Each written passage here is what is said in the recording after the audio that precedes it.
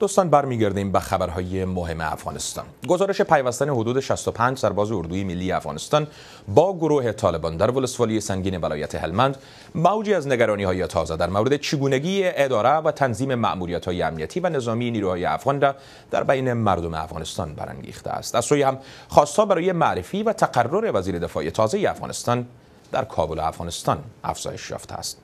آیا مدیریت ضعیف باعث شده تا سرباز اردوی ملی افغانستان سنگر رها کرده و با دشمن یک دست شود؟ برای دریافت پاسخ بهتر به این پرسش خواستیم. با محترم جنرال محمد رادمنش معاون ریاست ارتباطات استراتژیک و امور عامه وزارت دفاع ملی افغانستان که همکنون در استودیوی کابل حضور دارند بحث داشته باشیم. آقای رادمنش سلام بر شما و تشکر از وقتتان. در حالی که والی هلمند بیان داشت که این اساکر خود به طالبان پیوستند و وزارت داخله هم بیان داشت که در مورد این ادعا تحقیق می‌کنه وزارت دفاع شدیدا آن را رد کرده و بیان میداره که اساکر افغان هیچگاه به طالبان نمیپیوند. آیا شما مطمئن هستید که آنها به خواست خود و طالبان نپیوستند و نتیجه تحقیقات شما در مورد این واقعیت چی بوده؟ اردوی ملی همیشه مدافع منافع و جغرافیای افغانستان است ما به این جغرافیا و به منافع ملی و تمام ارزش های اجتماعی جامعه خود توسط اردوی ملی و, و تمام وظایفی را که اردوی ملی به عهده داره به عملیات می‌پردازیم. فعلا در ده ولایت کشور ما عملیات های ما جریان داره. ای که در ولایت هلمند وضعیت به چگونه است همه مردم به این مطلب آشنا هستند. فعلا در امی ده ولایت جنگ وجود داره و در ولایت هلمند هم جنگ هست. ای که شما فرمودین که چه تعداد نفر به طالبا پیوسته ای را ما به شدت رد می‌کنیم. چرا؟ به خاطر اینکه جنگ همیشه از سه بود مهم یعنی تعرض مدافع و یا عقب نشینی برخوردار است. ما در افغانستان گاه دشمن را شکست میتیم گاهی در موضع مدافعه می‌کنیم و گاهی هم عقب نشینی ها وجود داره.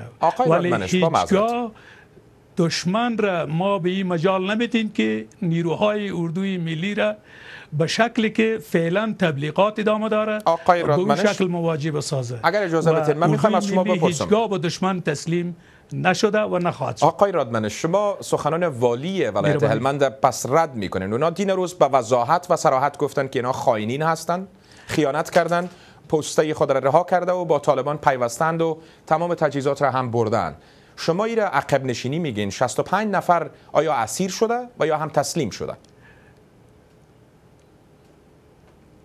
این سخن و این صحبت مربوط والی صاحب است و بیان آزاد است. ولی تا جایی که ما خبر داریم جنگ در سنگین وجود داره هست و ما همین حالا در سنگین حضور داریم. پس شما رد می‌کنین که 65 نفر تعداد کم نیست آقای رادمنش. اگر یک نفر دو نفر ما... سی نفر می بود درست. ولی 65 نفر رد می‌کنین اینا نپیوستند به گروه طالبان؟ بله سخ... بله ما این مطلب را رد می‌کنیم. کجا هستن 65 نفر پس؟ در جنگ کشتن هست.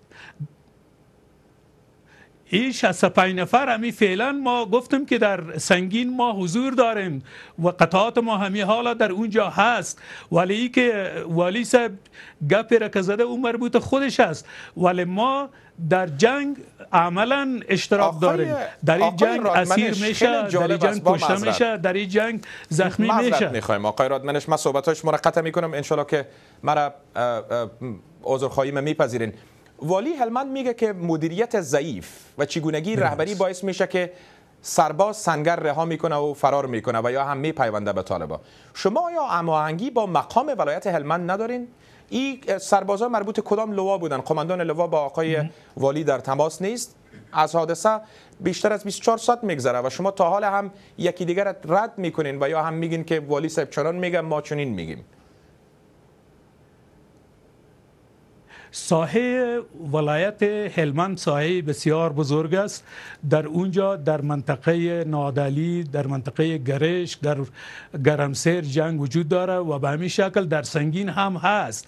ولی ممکن است که سربازای ما اسیر شده باشند. ولی ما از این چشم پوشی نمی ممکن است که اسیر شده باشند. شما تماس ندارین با قطعات نظامی اردوی ملی به دشمن تسلیم شما نمیشن. آگاهی ندارین تماس ندارین. ممکن است اسیر شده باشند. یعنی در جریان 24 ساعت تماس قطع است؟ شما معلومات ندارین؟ ما ما همین چند لحظه پیش ما همین چند لحظه پیش که به استودیوی شما آمدیم با قماندان قل اردوی 215 هلمند ارتباط گرفتیم و این ارتباط ما فقط روی همین موضوع بوده که همین موضوع باید واضح شود به مردم. ولی قماندان 215 برای ما اینطور گفت که عملیات در سنگین ادامه داره ولی در اونجا جنگ است. در جنگ ممکن است که اسیر شده باشند ولی هیچگاه سربازای ما تسلیم دشمن نشده و این مطلب که گویا سربازای ما تسلیم دشمن شدند این کاملا غلط است و ما این رد بین بپذیریم. آقای ردمنش که شما این رد می‌کنین تسلیم نشدن. 65 نفر ممکن یک طولای را تشکیل بدن. قماندان طولای در کجا است؟ شما با ایشان تماس گرفتین؟ آیا قماندان قل اردویی که شما ازشان نام بردین با ایشان در تماس نبوده؟ معلومات ندارن از ایشان؟ همین حال قماندانی طولایی که در امو سایه سنگین است مصروف عملیات است. ولی ما گفتم ممکن است که بعضی از افراد ما در جنگ زخمی شوند و اسیر شوند. ولی به معنای از این نیست که تسلیم شدند. ما در جنگ هیچگاه تسلیم نمیشن و نخواهیم شد. و این وظیفه ماست که از جغرافیای کشور خود از منافع ملی و حاکمیت ملی کشور خود. آنطور که در لاهی وظایف ما هست دفاع باید بکنیم و ما این دفاع را به عهده داریم و در این دفاع ما موفق می‌بریم.